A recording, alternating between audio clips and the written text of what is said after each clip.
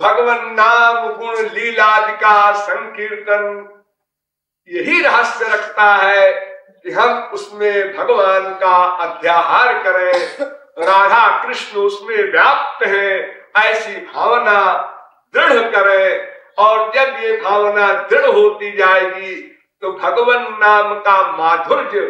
हमको अनुभव में आएगा, तब सात्विक भाव का उद्रेक होगा। उनके नाम के सुनने से, उनके नाम के लेने से, उनके नाम के पढ़ने से फिर हम इस अवस्था पर भी पहुँच जाएँगे, जहाँ पर भगवान शंकर खड़े होकर कह रहे हैं, रकारादि नामानी दो मम पार्वती मन प्रसन्नता राम नामाभिशंकया अगर कोई रा कहता है पार्वती तो मैं विभोर हो जाता हूँ। कभी ये माँ कहने वाला है